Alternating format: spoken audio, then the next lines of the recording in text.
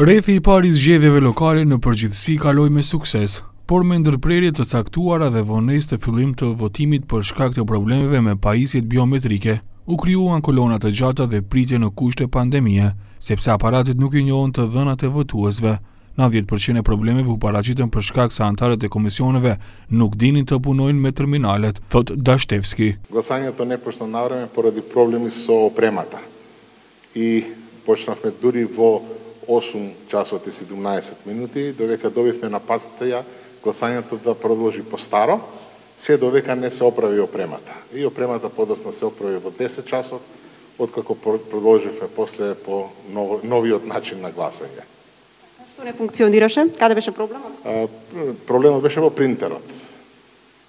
Nemate tuka za da mozhete da go zamenite, treba da naraçate da vi se donese drug.